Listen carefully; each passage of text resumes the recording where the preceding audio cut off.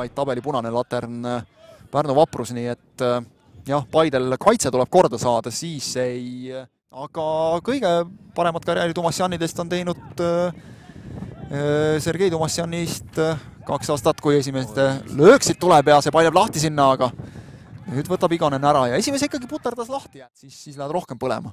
Tõõmov. Tõõmov läheb tagumist posti otsima ja, ja vähe jääb sealt puudu, et oleks ka oli Mullin saanud jala vahele.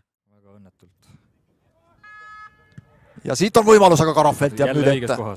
seisis õiges kohas ja ja seal need mehed lähevad natukene sõlme veel ja ja noh, Sinilaid ei jäta seal ka kunagi kõksu panemata, kui vähegi tükk-tükk aega tulla enam, see infonet, kes siin praegu on, kui siit nüüd Järva saab minna, Järva saab lüüa, aga võtab Igonen ära enam ikkagi, kui, kui tuleb see. Rätel ja tõrjub nüüd ohtlikusse tsooni selle palli. Karohveld head üldse tõrjub. Karohveldile nüüd kõva test. Kruglov lööb, hästi lööb ja, ja lööb latti. latti. tuleb sealt jätkuolukord ka, aga ei saa sealt äh, Infoneti mehed jaole, nurgalöök nüüd tulemas. ja see oli võimas purakas. see oli, saab selliste numbritega maha, aga, aga seal on vähe teised liigad natukene jah, müstilise nähtusega on Golovjovi näol tegemist. viskasin on üks-null ja lööb ära, kes muu, Martin Kase, keskkaitserünnakule tulnud Vainumäelt sööt ja Martin Kase vajutab mõnuga ja Igonen võtab välja jälle. Ei lähe protsent paremaks, ei lähe, aga Kasel on ilusti protsendiga.